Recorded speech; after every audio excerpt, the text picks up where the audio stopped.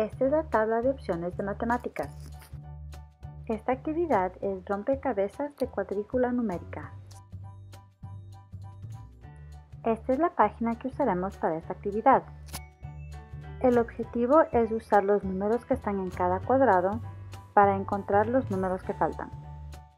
Hacemos esto al usar los patrones que conocemos de la cuadrícula de números. Por ejemplo, yo sé que un cuadrado más arriba que 45 significa menos 10. 45 menos 10 es 35.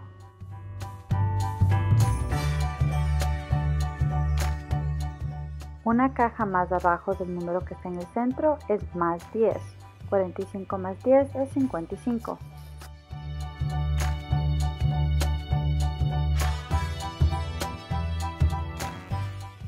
Una caja a la izquierda de la caja del centro significa menos 1. 45 menos 1 es 44.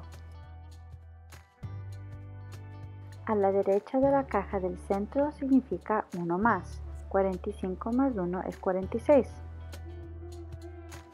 Ahora te toca a ti.